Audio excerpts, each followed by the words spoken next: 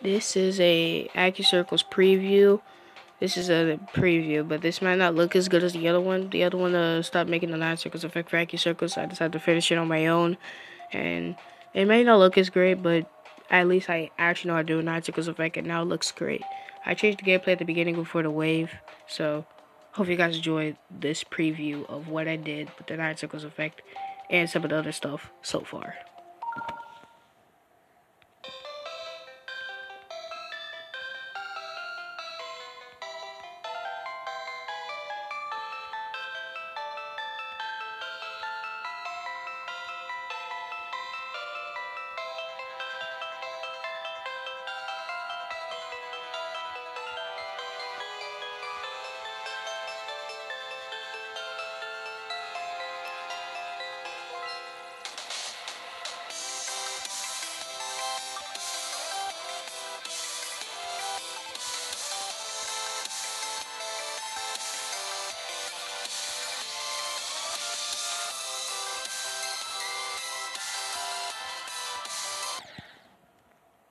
Okay.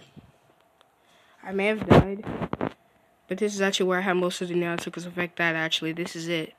That is exactly where I died is where I worked on. So, hope you guys enjoyed the preview. Like, subscribe if you're new. See you guys in the next one.